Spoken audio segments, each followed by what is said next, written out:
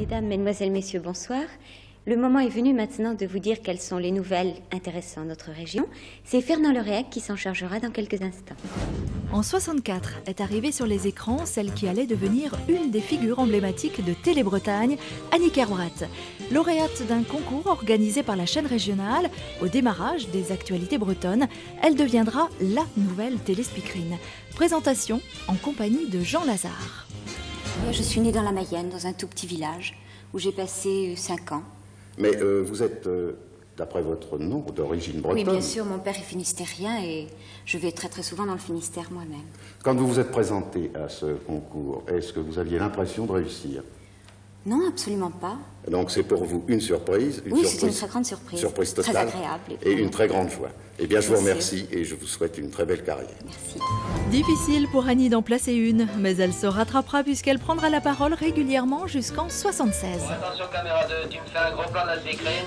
En février 74, à l'occasion du 10e anniversaire de Télé-Bretagne, elle se souvient de son premier plateau avec Gérard Bousquet. Annie, je crois que c'est quand même un souvenir euh, de trac, vraiment.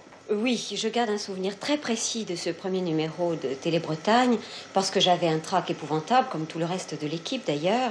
Et euh, ce trac avait commencé le matin à mon réveil, et je dois dire qu'il ne m'a pas quitté toute la journée. Vraiment, euh, la télévision, à cette époque-là, c'était vraiment un monstre qu'on n'arrivait pas à maîtriser au niveau des provinces. Euh, C'était un monstre, et puis euh, ça, ça comportait des risques importants sur le plan technique. Nous le savions, on nous l'avait répété, et j'avais très peur qu'il y ait un incident qui m'oblige à intervenir au milieu de l'émission. Une rupture de film, Voilà, ce qui s'est d'ailleurs produit pas ce jour-là, mais les jours suivants.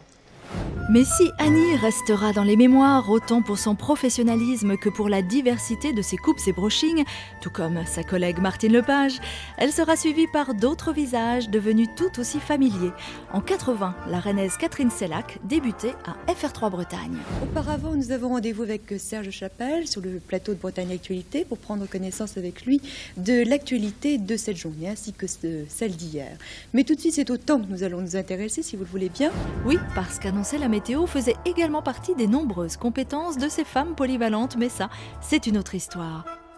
Le métier de speakerine, né avec la télé dans les années 30, disparaîtra en 93. France 3 sera la dernière chaîne à effacer de nos écrans ce charmant sourire.